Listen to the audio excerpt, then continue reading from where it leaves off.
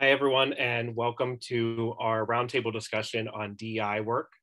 Um, I'd like to welcome you all and thank you for coming to hear from our panel of experts. And without ado, I'll let them introduce themselves. Over to you guys.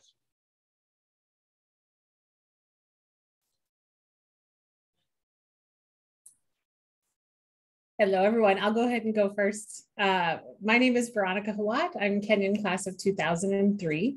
Um, I work in higher education, specifically undergraduate admissions at the University of Chicago. I've also worked in admissions at Kenyon. That was super fun.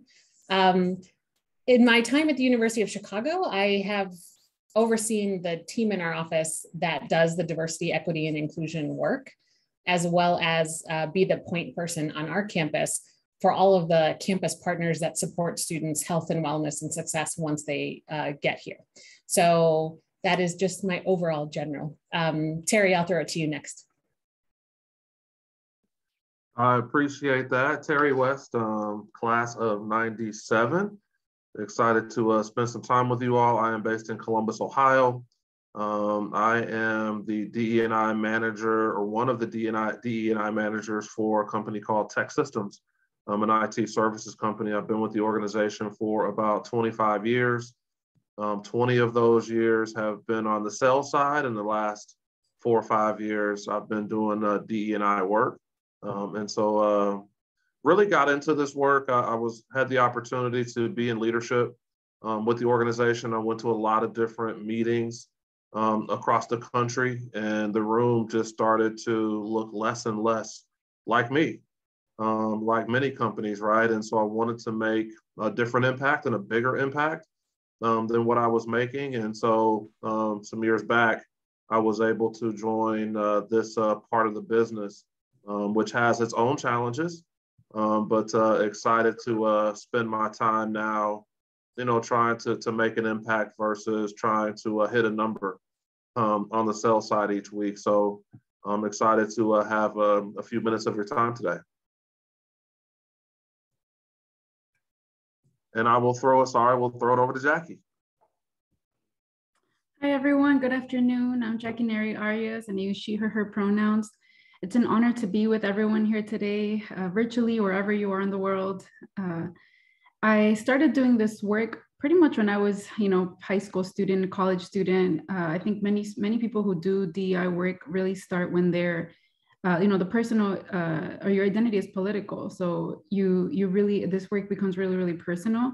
So i've always been involved in some type of you know student group or affinity group or something along the lines that has to do with an aspect of my identity.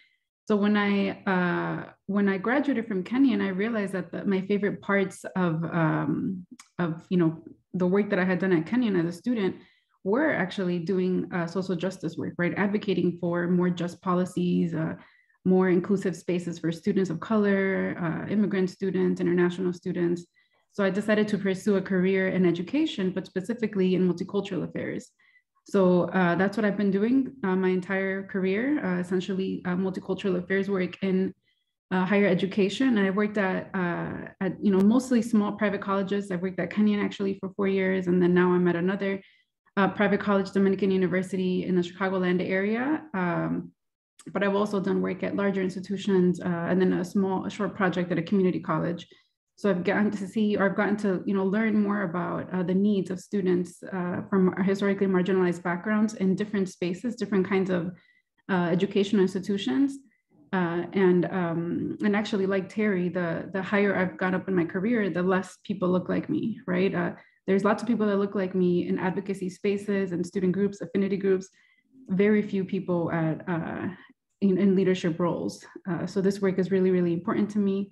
Uh, and I will also give a shout out to Veronica, who I remember at when when I was a student, she was uh, she interviewed me because she was doing her master's program, and I one quote that she said to me really stuck to me, right? Which is, um, what you know, I think she asked or I asked her, why do you do this work? And she said, well, because we need people like me in this space, and we need people like you in higher education, right, in positions of power, authority. Uh, so that always keeps me going, right? Even when things get tough, uh, I know that higher education needs me. So I will pass it over to Sasha now. Good afternoon, everybody. Um, my name is Sasha Fanny Holston. Uh, my pronouns are she, her, hers.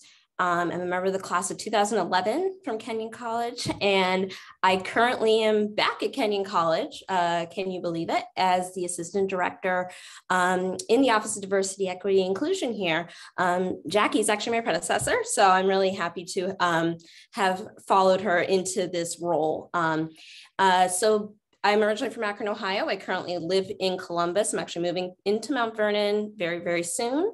Um, and before I did this work, um, I should say I've always been interested in this work.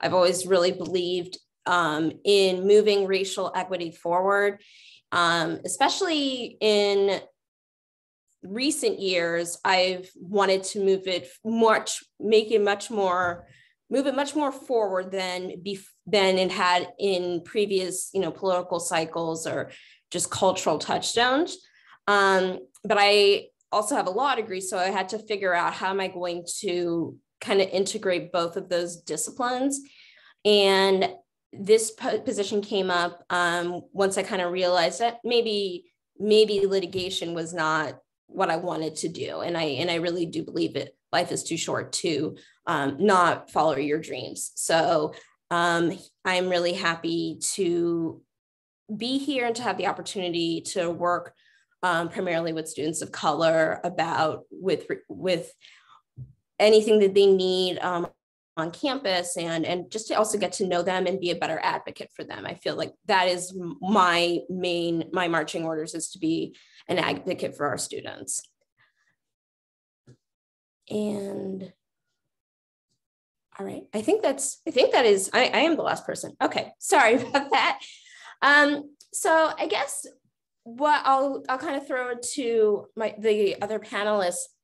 Um, in your, um, in your work, what different elements of DEI are you uh, primarily focusing on? Um, whether that's um, retention or working with students or uh, hiring or something, things like that. Um, so, uh, Terry, I will ask you. Sure. Um, you know, it's really, I mean, we I get involved in a lot of different things, um, you know, in this role. Uh, but my primary responsibilities are the workforce, which is making sure that our offices reflect the communities that we're serving. We have about um, 100 offices in North America, and we want all of our offices to be at uh, 50% female, and we want our minority or people of color percentage to be five percentage points above the census. Um, and so I spend time, uh, I should say five percentage points above the census in that particular market, right, in that particular city. Um, so I spend time really just making sure that we've got great plans in place, um, you know, across the country. I do have other partners that report to me as well. And so we spend time there. We spend time on the workplace, making sure that we have an inclusive work culture. You know, it's all about inclusion, right? You can hire diverse talent all day, but if you don't have the right environment, the right culture, um, that talent is probably not going to stay long term, right? And so we spend a lot of time making sure that, um, you know, we've got you know, different venues, different programming, et cetera, to, to really drive inclusion, employee, um, employee networks, um, employee resource groups, you know, things of that nature to really help us. And then third, for me, it's um, we're a services company. And so I spend time, even though I'm not chasing a number, I'm not responsible for a number, I spend a lot of time in front of our customers, talking to them about their DEI strategy and how we can support um, them and their DEI goals, right? And, and many times that is um, through the workplace, right? Every organization right now wants to diversify their their employees, their staff, right? And so we spend time, and I spend time really talking to our customers around ways that we can do that. Um, and then internally as well, I get involved in you know certain things on the intranet, right? um, being on this side of the house, right, when it's time to celebrate, you know, Women's History Month or Black History Month or, um, you know, whatever it may be, I get involved in helping write content, right, that's going to hit the, our intranet for all of our employees to see. And so, um, really neat work, right? It's really great work. It's tiring at times, but, um, you know, those are some of the things that I get involved in. I don't know if Jacky or Veronica has anything you'd like to add. Yeah, actually, uh, similar, Terry. Uh, in my role at Dominican, uh, so it, it, looks a little bit different than what I did at Kenyon. Uh, at Kenyon, I did similar to, you know, actually exactly what Sasha did, right? So working a lot on uh, providing direct service to students when it comes to retention, uh, support, advocacy, um, and, you know, a lot of sort of advising one-on-one -on -one with students and group advising. Uh, but then at, at, Dominican, in more of a leadership role, I've gotten involved in some projects that I didn't even know that you know those were a passion of mine. Uh, but the, some of the things that you know, sort of in addition to all of the things that Terry already listed, when it comes to organizing Heritage Months, cultural celebrations, um, crafting messages for for staff, faculty, etc. Um, I've also gotten involved in uh, some unique projects that are more um, sort of strategic thinking and, and decision making on, on the, the message that we want to send, right, as an, as an institution to our employees and our students. So one of them that, that's really, really exciting is uh, the naming and the creation of our um, lactation room, right? So that's something that by law, uh, well, actually, certain, the, uh, the law varies by state, but by law, we have to have uh, a lactation room, right? A, a space where uh, lactating people, right, can actually uh, either feed their child or um, or lactate, right, get milk for their get store milk for their child, and that's something that wasn't really available before, right? Uh, so uh, from naming the space, it used to be called the mother's room, and then we changed it to lactating room, um, also nursing room, but most people don't have their child to actually nurse in the space, right, during the workday uh, thinking about what the space looks like, right? When I first started, uh, there was like not even any soap in the space, not even a space to sit. So what does a functional diversity uh, or what does functional inclusive space actually look like, right? Uh, and then some other things have been naming uh, uh, spaces, right? So a, a, space for students with a disability, what, what would that space look like and what would it need? What would it be called? uh, what kind, what the messaging looks like, uh, and what are the policies, uh, you know, how are the policies going to be written and communicated to the populations that actually use the space, right?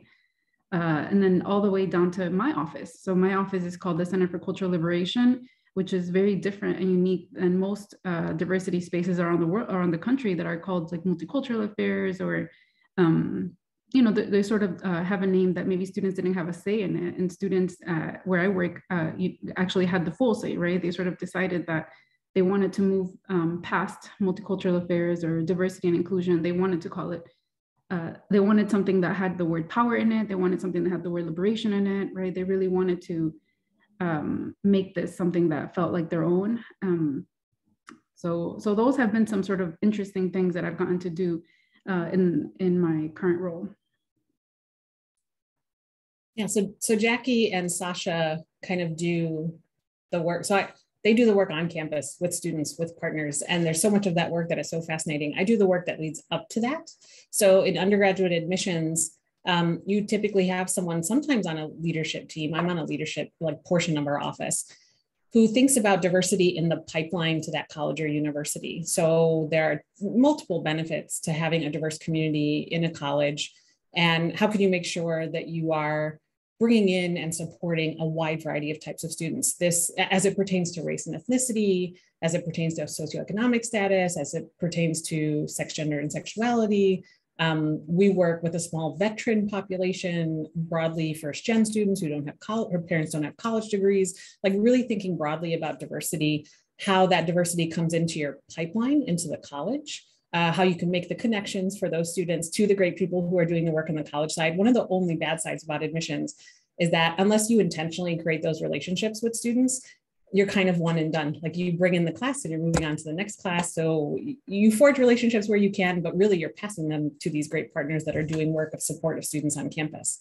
So there's usually someone in every uh, like higher ed college admissions office that thinks about diversity, the pipeline into the college. And then uh, in many offices, that person or that team is also thinking about diversity, equity, and inclusion as in, as employment kind of standards in the Office of Admissions. So I will work with other members of our leadership team to think about training that is really relevant and helpful to our staff and how we do our work. So most admissions offices, for example, will do different kinds of implicit bias training so that what your staff has as natural biases doesn't leak into the college admissions process and how we judge students based on our own biases. So that's just one example of providing training to a staff. Um, like I said earlier, we do get to kind of do a little bit of work with the campus partners who do the work, but that that part of admissions is a little tough that you just kind of you bring great students in and then you're bringing next year's class in so you kind of have to move on very quickly and just hand them over to your great partners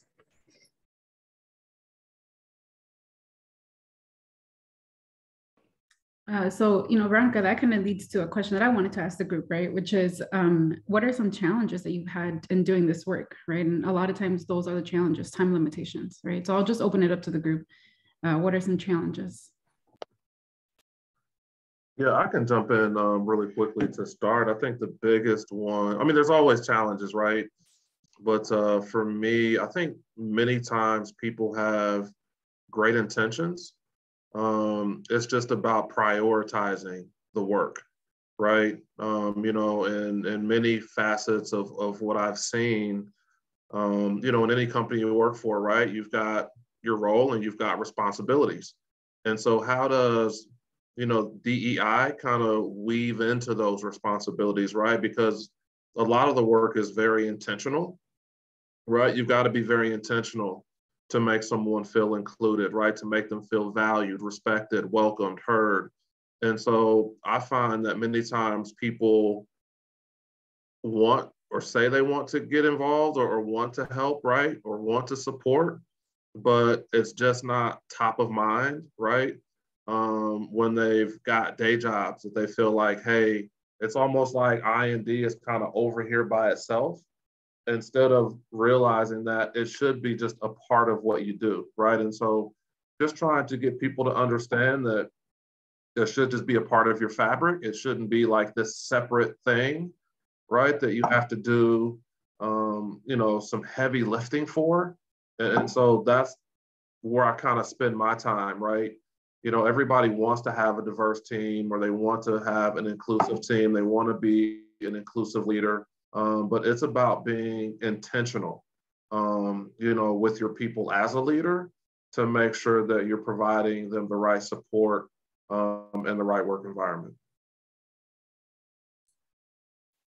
Yeah, I, I will say there are the challenges of the individual job, the office you work in, the people you work with, like there are individual challenges, but then there are also landscape, like your profession challenges.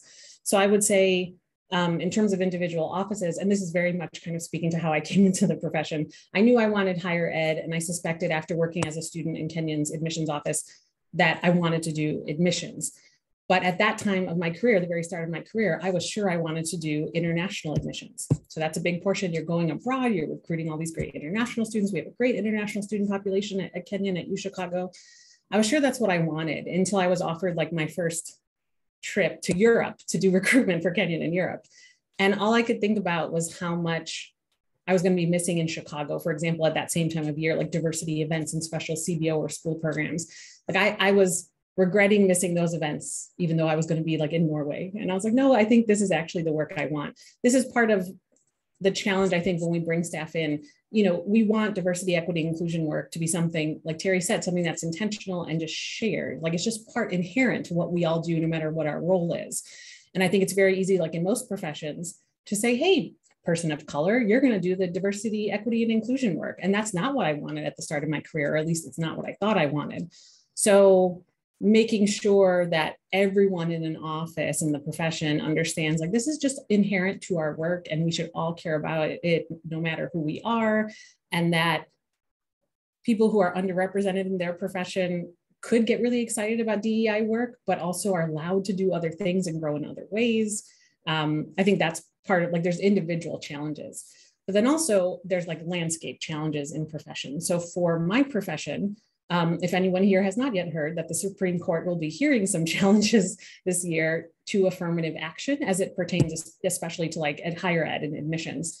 Um, and we're having constant conversations about what does that mean? So given possible rulings, what does that mean for how colleges will have to adjust not their goals because the goals aren't challenged. Like you can want a diverse college student body broadly, but if you no longer have some of the same tools that you've had before to have either very race conscious or deliberate process how does your whole process change depending on this ruling which we've heard these rulings i mean since the 70s, there have been very high profile cases uh, against things like what we perceive as, as affirmative action. So I think there are challenges in our workplace like that person you work for the thing that happens the you know there's the workplace in any profession.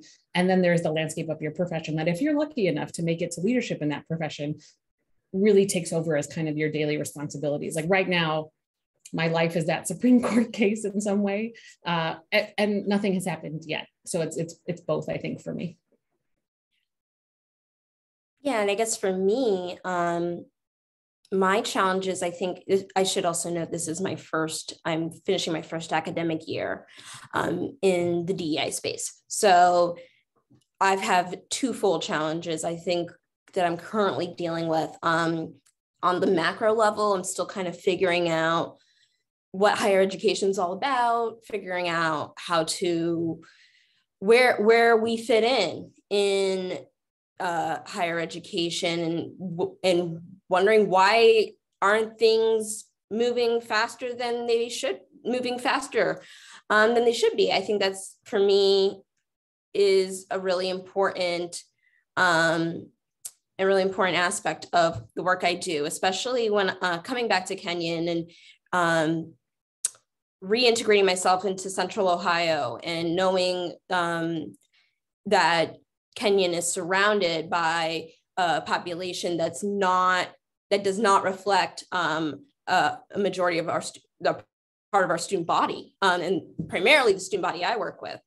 And I and I and I think a lot about um, how do we um, support those students who may have never been in a rural area um, coming into Kenyon uh, or students who have been um, surrounded by mostly minority um, populations wherever city they live in. So if they're coming to a predominantly white institution, um, how best to support them. So I'm still kind of figuring that out on the macro level. Um, and also just learning about admissions um, as, as part of my as part of my um, position, I serve on the KEEP STEM academic committee for our uh, KEEP scholars, which are primarily first gen and um, for and uh, and uh, students of color. And so I started reading applications this year, and I couldn't believe it. I couldn't believe the just like the little things that were being that were factored in.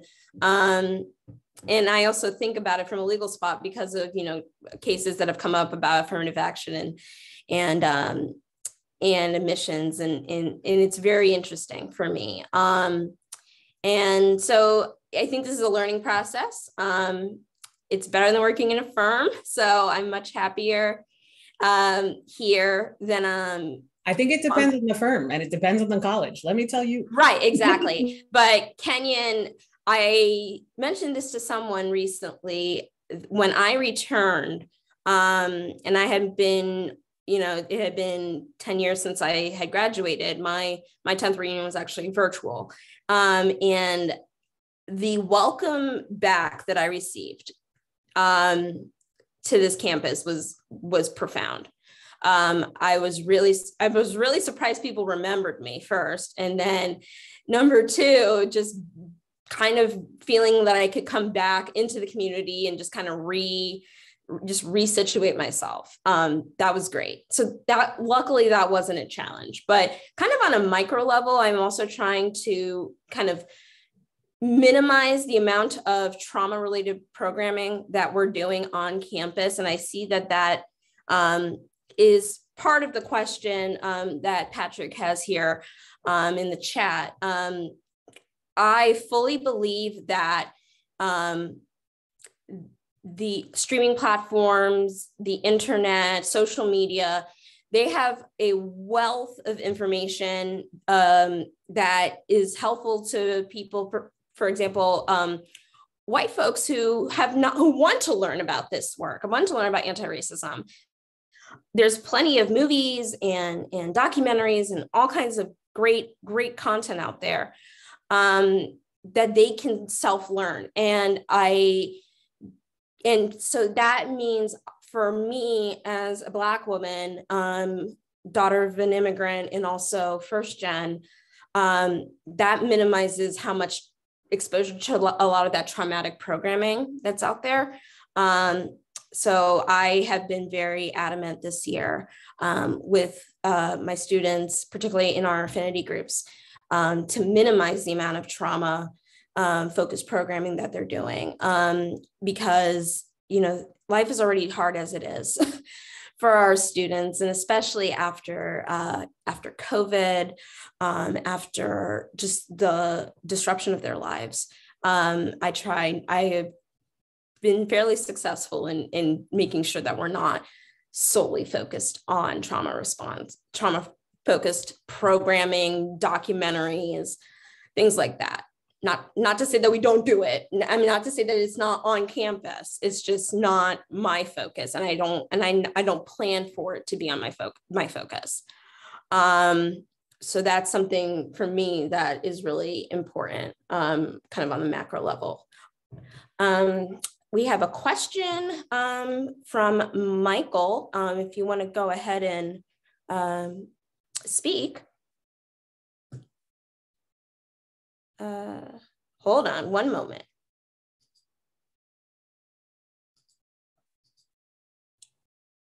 Okay, can, okay. Can you hear me now? Yes, I can. okay.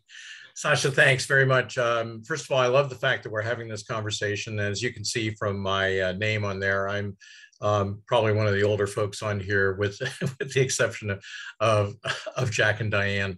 Um, I wanted to let you know that uh, you know from the class of 70, 1976. Um, during that time, uh, we didn't uh, think of this as DEI, um, but uh, certainly the issues of underrepresentation, et cetera, were uh, evident on campus. I think uh, myself being a first generation Asian American, I can tell you that of the eight or 10 uh, Asians who were actually on campus at the time and another possibly 10 to 12 African Americans, um, you know, the, the topics of uh, diversity, equity, and inclusion um, were, you know, maybe not part of the parlance, but were certainly something that that we were trying to address. And so the establishment of the Black Student Union, and then uh, candidly some of the efforts that I made to to uh, change that to a multicultural union, student union, um, were important aspects. And I think that we still continue to um, have this dialogue. And I just wanted to contribute that, um, you know, I work very, uh, very much so in the biotech and the pharma world. And in fact, next week, uh, on the 3rd of May, I will be speaking at a conference in Boston, um, specifically around the inclusion, diversity, and uh, effectively the underrepresentation of many minorities, including the BIPOC population, in clinical trial development. And uh, the topic is actually something that uh, I've helped coin around the word JEDI. So it's justice, hmm. equity, diversity, and inclusion. And so we're going to be talking about some of the issues that keep uh, many Americans uh, and globally a lot of other people um, isolated and, and uh, not able to access uh, clinical development and have representation in the, the development of clinical data. So I applaud the effort that this, this group is making and the, the efforts that are ongoing at my alma mater at Kenyon. And uh, I uh, look forward to uh, listening more. So just wanted to jump in and contribute as I'm going to need to leave this conversation a little bit early, but thank you very much. Oh, thank you for, uh, for commenting. Thank you, Michael. I actually just wanted to quickly share that uh, my at my institution, our uh, chief diversity officer uh, she actually uh, uh, put together a training called JEDI, and she, uh, I'm going to make sure to share with her that someone from my alma mater coined that term. well, I don't know that we coined it, but a lot of this stuff is is fairly, um, you know, serendipitous. But I will tell you that it's something that I've been using, and it's something that clearly rings true with the groups that we talk to. So, um, you know, you can you can talk about JEDI, or you can be a JEDI. yeah. Uh, and let's see, we have another couple questions in the chat um, from Heather. Um, I have a question about the infrastructure that's in place for retention whenever it might fit into the conversation. So whoever wants to take that, go right ahead. Well, and I guess Heather, maybe just to clarify, there's there's like retention as we think about it in students and education. There's re the retention and growth and development of employees in different professions. Um, just in terms of where where like where you're placing your question on retention, you're thinking higher ed, or are you thinking employment and professions? Yeah, of course. Um, can you all hear me? Okay. Yes. Sorry, it's echoey. I'm um, standing out in a hallway. Um, my specific question was about how how and what Kenyon is doing to have that infrastructure in place. Um, I am lucky in that my work, all of the policies we are working towards are generally themed around environmental justice, and we ourselves have a very well developed um, DEI initiative and committee for our own staff. Um, and as someone who recently graduated Kenyon in 2018, it was very interesting experience for me as it was like the least diverse place I had ever lived. Um, and I have only been one place since that was as or even less diverse, and that was rural Washington State. Um, and I don't know that that trend has gotten better since I left, which is disappointing because I think all students want to leave Kenyon better than they found it. Um, and I think there were struggles to establish that infrastructure while I was there. I think people could like very easily identify that lots of what kind of made up Kenyon's diversity were international students, particularly that didn't need financial resources or were people who were recruited specifically to be student athletes. And then that left very few people who were not associated with the international community or with the student athlete community who came to Kenyon and were also people of color. And I think Kenyon has struggled with it. And I don't know that I've seen the infrastructure in place to retain those students and have them feel supported once they are brought to the campus. And I think that maybe talks to the disconnect between what that admissions pipeline looks like and what having students in a like safe, productive space looks like. Um, so if anyone could answer that, I would appreciate, or has any insights or follow-up questions if I need to make any part of what I said clearer. Yeah, and I will before like the real experts address like current Kenyon or student retention. I do just want to speak, I guess, right? We've already heard from some others who have that perspective from the 70s, from the 90s. Like to Kenyon's credit, in the 20 years since I've been a student, they've doubled the student of color numbers on campus. They the way they provide financial aid and scholarship has been improved. The creation of retention and bridge programs like KEEP and other things. I mean, it's night and day from just when I was there. The difference you would see in four years is the difference we would see in 10 to 20 years. Um, that doesn't mean there aren't pressing issues and ways in which any college can move forward in that work. I think so. The, the one of the recent announcements, Kenyon become like a funded partner of an organization that helps underrepresented uh, high school students like attend colleges that fund them well, support them well. And so there's been this like great development there. Uh, and the thought is like, what comes next? So is it the expansion of programs like KEEP? Is it the addition of resources on campus? Like, I think that's an ever evolving conversation that maybe some schools like Kenyon kind of take for granted. Kenyon is nationally a school that has one of the highest retention rates in the country. Some of that is by default because of the students that come into Kenyon. So regardless of who you are, if you're going to a place like Kenyon, you're going to retain at a higher number. That's the case for us at U Chicago too. But I guess just in, in defense of institutions, the time clock is long. I mean, change at places like Kenyon, at places like Chicago, change is long. And to the credit, like having worked, gone there, worked there twice, been affiliated as an alum, change doesn't happen as fast as we want it to. But I would say, even just in my perspective, I'm like, change has been immense like the difference between I, when i was a student and now being affiliated with the college but sasha jackie i mean any anything you want to add about like the way colleges intentionally build out retention efforts that that, that is all you. Yeah um, i did want to mention and and i will also say from the moment that i stepped on this campus 15 years ago um, to today it is a different campus.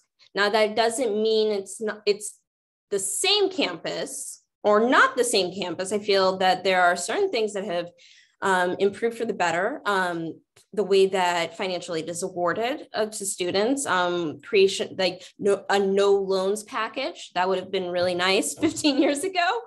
Um, and all, but also there are things that I'm uh, that I'm seeing that I'm that I dealt with as a student that are still around. Um, the socioeconomic gap here is extremely wide. It always has been. And I feel it probably always will be, but I feel that our, there are so many different ways that we can, you know, make that equity a little bit better. Um, and we do have, you know, academic and student support funds, which is a lot of what our office does here um, in the event that any students who, who are in need of assistance with books, with um, if they have if there's an emergency and they need to go home or if they're if they need um, attire for an interview or um, let's say they're taking graduate placement tests and we can assist with that as well. Um, so those those initiatives i think are helping to make it a little bit more equitable. I don't want to say equal i want to say equitable. I think that's a, that's a better term. Um, but i do think that's what's that's that i think is keeping a lot of our students of color our first gen our low income students here. Um, i don't you, you know you don't I, you don't want them i don't want them to have to almost feel the same ways that i did as a student or, or, or even before then.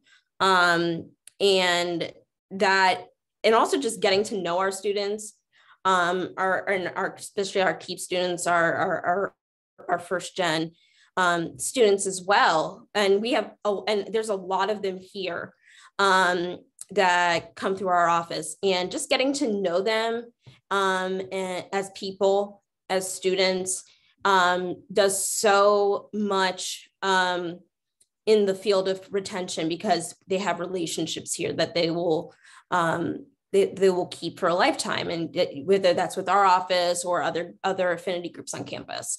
Um, so i do think in that sense retention is is is it's on the, it's definitely an aspect of our work like on campus today but as opposed to um but in general i think it is those those little initiatives are, are making a big difference and if I can add, I think, you know, in addition to everything that Sasha and Veronica already shared, I would say that uh, since I've started doing this work, which again is, is uh, you know, it's still relatively new. I mean, maybe 10 years, uh, uh especially since I started attending Kenyon, uh, or since I graduated from Kenyon, I mean, the institution looked completely different than when I was a student, which again, isn't that long ago, right? Um, there are just so many more students of color, so many more first generation students. Uh, and uh, the the way that I have found is the best way to approach the work is from an asset-based perspective. Asset-based perspective, uh, students aren't, you know, students from marginalized backgrounds aren't, aren't sitting there in their classrooms, and, and and also even staff, right? Staff of color, staff from marginalized backgrounds, aren't sitting there doing their work thinking, "Poor me, poor me," right? I think students who go to Kenyon are incredibly confident, incredibly intelligent, right? And obviously, we're sort of tooting our own horn here, but uh, the the reality is that we we have to change this mindset that students are there thinking that they're um, somehow less than or or somehow um, lacking, right?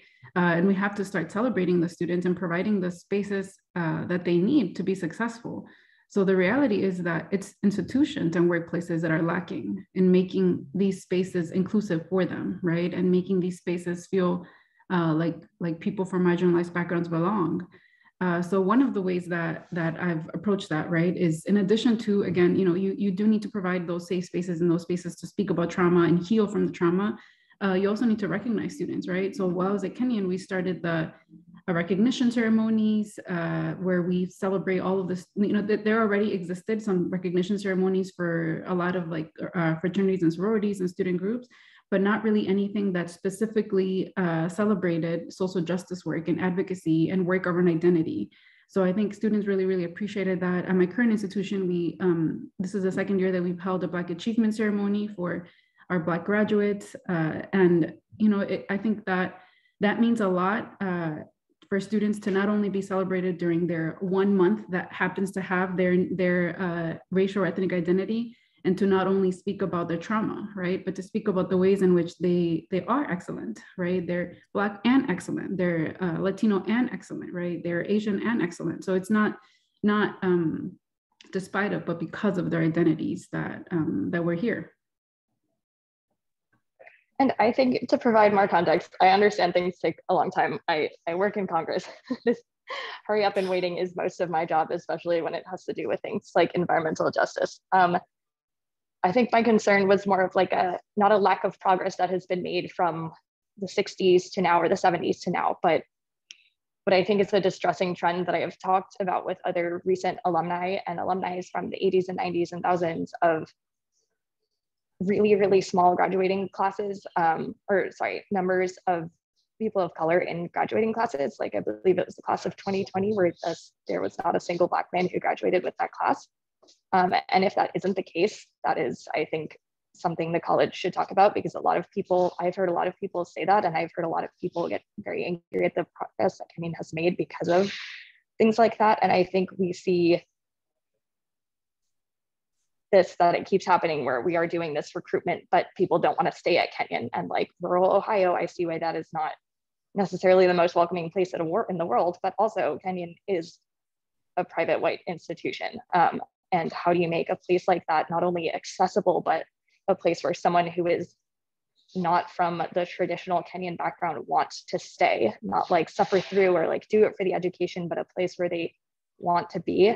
Um, and I have seen what I feel like is the college putting up hurdles to that in the form of making kenyon less accessible for students that need to work a job in order to pay their tuition with their efforts around blocking the unionization and overturning that law case and all of these other sorts of things that I feel like Kenyon has sort of regressed in the last couple of years. And I think it is having a significant impact. And I understand correlation is not necessarily causation, but it is a distressing looking trend, especially for younger alumni. And I think the students who still go there and are kind of waiting to get out because they don't feel like it is an accessible place for them.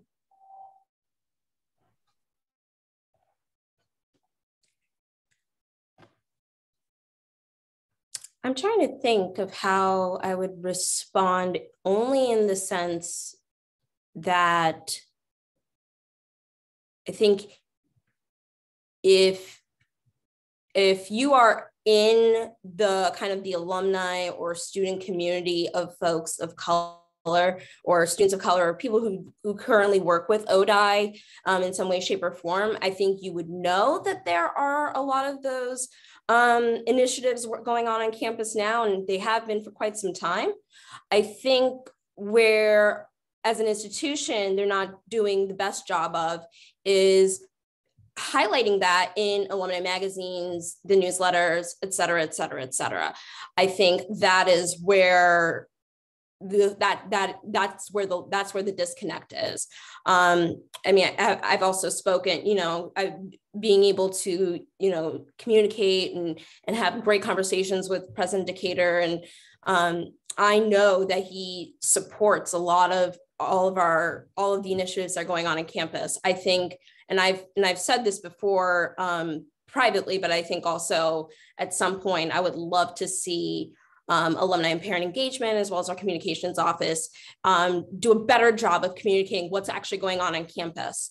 Um, because if they don't, then you know different kinds of misconceptions come out into the into the into the um, into social media or just in conversations with other alumni. So um, that's something I'm thinking about uh, going forward is to really kind of uh, highlight that, that work that we're doing. Yeah, Sasha, I, I had that uh, those same challenges when I was working there. uh, highlight the amazing work that is, is being done, right? Um, but I think you know, Heather, uh, to answer your question like very broadly, right? Um, from a from a uh, Kenyon perspective, but also in general, right? As a person doing DI work, a person with a marginalized background or many marginalized backgrounds in in in um, the workplace, uh, you really have to remember that these institutions were not made for people like us, right? So it's actually a mistake to think that you know any any type of initiative is going to make the place completely inclusive and completely comfortable and completely um, just right you would you i, I actually i'm a full um, believer in dismantling the systems, right? So many times, uh, and you know, again, you, I don't, I didn't get to do that a lot at Kenyon because of my role, but I get to do that where I am now, which is just looking at the policy and saying we need to throw this out. There is nothing that we could do to this policy to make it better, right? We actually just need to dismantle this, abolish this, and restart from scratch. Uh, and uh, I, I, commend Dr., uh, President Decatur because he actually has done that with several different programs. In fact, I just learned through Instagram, right, that uh, the Office of Diversity, Equity, and Inclusion, so Sasha and uh, Chris Kennerly's office is, is essentially doubling their their uh, budget, right? And that's amazing news. I mean, that's something that that Chris has fought for since probably day one that he started at Kenyon, right? Uh, so it, it's not to sort of gloss over the many challenges, but I think it's just important to remember that in 20 years we could be having this exact same conversation, and there will still be a class that will not have any black men in it because Kenyon was not made for black men. Kenyon was not made for undocumented students, right? I was one of very few undocumented students when I went to Kenyon and when I worked there, I thought, oh, there's going to be so many more because DACA, because there's so many uh, programs for uh, immigrant students. And there was one that I knew of, right, that I worked with uh, very personally. So um, that's that's the reality of our spaces, um, and it's not okay, right? We don't have to pretend like it's okay.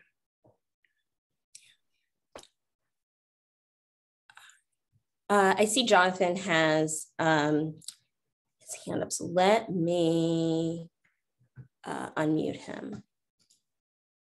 Let's do that work. Okay. Go ahead, Jonathan. Hi, thank you. My name is Jonathan. Um, so I recently graduated in 21, May 21. Uh, it's been a year now. Um, and I now actually work for the Office of Alumni Engagement. And something that I did want to point out is in terms of the communication piece, it's really interesting because, you know, there's a lot of messaging from a lot of different sources from teachers going to conferences and doing presentations from the alumni office, sending updates to alumni, from communications, sending general news out into the world, from students reaching out to their alumni. And so what we're finding is that sometimes there's a little bit of disconnect where we'll want to share and celebrate some positive news to alumni and specific alumni, but then we can't contact people who have already said, I don't want to hear anything about Kenyon. So then that perception doesn't get challenged, or for whatever reason, if you disconnect from Kenyon, there are very valid reasons to disconnect and take time and space away from Kenyon and be able to say, okay, well, that was a lot. I graduated. Let me renegotiate my relationship with the college and see what it looks like in a couple of years. But if you cut off all communications from official communications from Kenyon and then get a lot of information sources from students, from professors, from Facebook, from Instagram, then you know, it, it's just what is your what is the source of information? Because Kenyon, like any institution, can be very complex and has positives and negatives. So the comment that I want to say is I think it's incredibly valuable to have alumni like you who are very willing to say, hey, I'm concerned about this. And there's an issue here because you're right. I, I think there's space for both to exist where we criticize the college and want and expect and demand better, and also recognize that the college has already made progress because inherent to the way that we've already made progress is the people that have been criticizing and demanding change. Um, so I think that this is a really good conversation so far, and I want to say, absolutely keep keep saying that you're concerned, and absolutely keep voicing it and and asking for ways that we can improve because that is necessary. Um, so that's my little piece. And we did have a question in the chat, so I don't want to I don't want to um, go to that before we get to the next question from Anthony. Uh, and Terry, maybe you can speak to this. Uh, with our DEI activities, uh, or can we, with our DEI activities, still allow room for people of faith and other conservative groups, given that many of them don't accept some of the fundamental tenets of DEI? And if so, how? Hi, hi everyone. Thank you very much for this very enlightening conversation. Uh, first of all, uh, I may not look it, but I am a minority. I am Arab and I came from the Middle East when I was 11 years old. So I am I am an immigrant. Okay, and uh, when I was at Kenyon, I graduated in 1987, and uh, the fact that there were almost no minorities there was a major problem. And I distinctly remember my French professor, Robert Goodhand, saying that that is a major problem at Kenyon, uh, the lack of minority students. So I'm really, really glad that uh, we have made so much progress in incorporating uh, students from, from all diverse groups, all minorities. Yeah, but my question is a real one. Uh, you know, can we have a space for people who, you know, reject some of the tenets of DEI? And we all know that's that exists. Is there any way to sort of allow those people to be at Kenyon and other places? Or, I mean, is it a zero sum game? It's either us or them. So, so I'm sure you've all given that a lot of thought. You've you encounter it everywhere you work. So, uh, so can we can we have space for them? I mean, I would like to have space. I don't. I I truly believe that we are not going to achieve racial equity until everybody is on board, and however however that looks, or you know, let go or you know come along with us or we're going to drag you along with us. I mean and that and i know that's a very radical thought in terms of how we move how we get um, our conservative uh, brothers and sisters our republican brothers and sisters um, on the same page as us. Um, kenyon has historically again not been very good at accommodating those um, populations. They are here. They are definitely still here. Um, again, I think we have to understand and fight how doesn't matter how hard we think it is. And it's hard for me. It's hard for me. I'm a very very i, I, I lean quite a bit to the left. Um, i find it hard sometimes to want to understand why um, those populations feel the way that they do about people of color why they feel the way they do about immigrants, about our, our political situation. Um, I want to know why, and then I also don't want to know why, you know, for my own mental health. Um, and so I think if we come in together with mutual respect and understanding that this is we are here as this is a learning experience and we really I, we're, people are genuinely curious to know then that's great um, but unfortunately, that is not how our political system and our and our cultural system is at the moment. And I am honestly, as a as a former poli sci major, I'm I'm afraid about what's about to what's what could be happening in the next six months. I re, I am I'm truly afraid. It is um, really upsetting to see a lot of um, regression in in in racial equity. Um, hopefully, I don't know what's going to make things change. Um, I hope it does. So that that's just my my take on it. Yeah.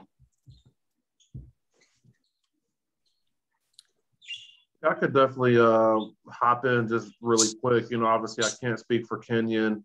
Um, you know, not there. I would love to see those things change. I do agree with um, a lot of what you know Sasha just said in terms of you know, people just having an open mind. I've had the opportunity to, you know, attend a lot of different trainings, conferences, um, you know, during my during my time, you know, in the uh, in the private sector, I guess I'll say it that way, right? Working for organizations. And, you know, we do something here, we have what we call conversations that matter. And it's really the entire company taking a collective pause to discuss really hot topics, you know, whether it's race, whether it's gender.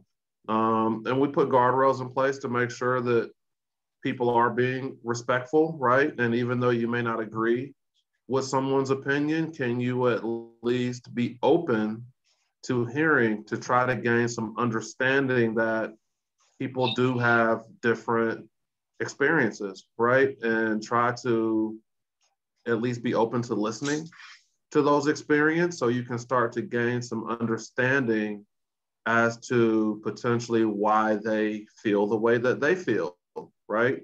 Which is probably very different, right? Than how you feel. And so, you know, those conversations can get really heavy, get really deep. Um, you know, but I would love for Kenyon to start to try to tackle some of those things where you can bring people who have different experiences together to have, you know, respectful, right, conversations. Um, and so hopefully we can get to that point. I haven't had that conversation um, with anyone at Kenyon, right? But I think it's a, a great one to have, and, and I'll be looking forward to to doing that and supporting that, you know, any way I can. Um, you know, obviously in the private world, you can have those, right? I mean, when you look at, at the organization I work for, we have a lot of employee resource groups, right? So for, for you, Anthony, we have an Arab employee network, right? Um, we have a few that go down some different um, religious paths, right? For um, employees to at least feel supported. And as leaders, we can start to listen um, to some of those groups and to listen to some of their challenges and some of their experiences. So um, I'd love for that to, to dip over into, you know, more the, the higher ed space. So I'm, uh, I'm definitely hopeful for that. And I think it's also really cool that Kenyon is in a unique space in allowing for like so the potential at a college where you have a national and international student body, incredible diversity, but then also, I mean, the shock for me was less about race and ethnicity and more about socioeconomic status when I first went to Kenyon. Um, like that was huge. I had never met students who were as privileged as the students I met at Kenyon, but also I had never seen poverty the way I saw it in Knox County. It was a different kind of poverty. So I think not only that at any almost any college of Kenyon's type, it has a very diverse student body. If we think about the national and international selection of students, socioeconomic diversity, like there's some potential there for great conversations, but also just the placement of Kenyon in Knox County, Ohio, and what that means for the type of Kenyon student who would have never met those people in their life at all. That's not the case where I work now. If I recruit a student from Chicago to U Chicago, there's no difference in their life.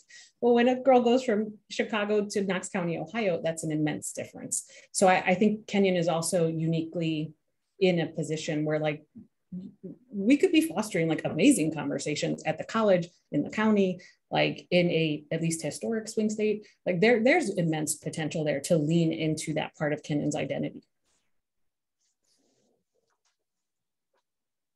thank you all thank you very much thank you hey i think uh, i know we're coming up on time i see you hand, but I don't know that we answered Patrick's question around DEI fatigue. I think he was probably the first one. Did we answer that? I mean, I touched on it, but a if, you, bit. If okay. you all want Just to, say, make yeah, sure we got there. Yeah. Cool. I, yeah. Um. So if we want, do we have any? I can. Uh, I can. I wanted to share a little bit on the fatigue too, just really quickly. Um, okay. So fatigue is real, right? And burnout is really real in DEI work, especially when you are a person that again has those marginalized backgrounds. So these these uh, issues that you're fighting for, advocating for, uh, are like may impact you directly, right? Especially again in the role that I do now, I I do serve in a lot of search committees and hiring spaces, and I work closely with the HR office. So when I'm I'm suggesting a policy change in terms of how how we uh, hire, uh, you know, hire like a new staff member that is uh, that has a disability or is pregnant or has, you know, it has openly shared that they have DACA, right? Something like that. Uh, um, I think like, okay, how how would this without trying without like putting my own bias in it? I think this would impact someone like me, right? Uh, so that trauma, uh, that those processes can be sometimes re-traumatizing, right, and can bring up some some past um, negative experiences that I've had myself. Um, but I do think that I've, in my career, I've been much better at separating myself from the work. And some of it is work, and then some of it uh, is personal, right? And you, if you want to keep doing this work and keep doing it effectively, you really have to understand what is your boundary, right? Like, what are you willing to keep fighting for, and what can you tap in other folks? Uh, so I think for me, the fatigue, I deal with the fatigue by finding my people. And Chris Kennerly, a former supervisor, but now a great friend, is one of those people for me um, but also my alumni of color friends from, from Kenyon, a lot of mentoring mentors that I um, made throughout my time there. Um, I think that's really, really important.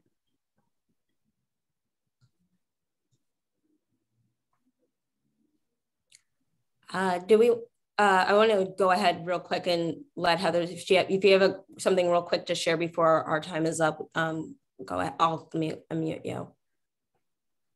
Yeah, thank you. Um, I will make it quick. I to the point about how the college interacts with and communicates with alumni about the happenings on campus. I definitely agree. I think it is there's a stage where all of the people who graduate do not want to receive a single email from Kenyon, fundraising or otherwise, and then they kind of get back on the train. Um, I personally have never opted out of those emails and I have remained a class agent and I'm even like helping organize my reunion next year.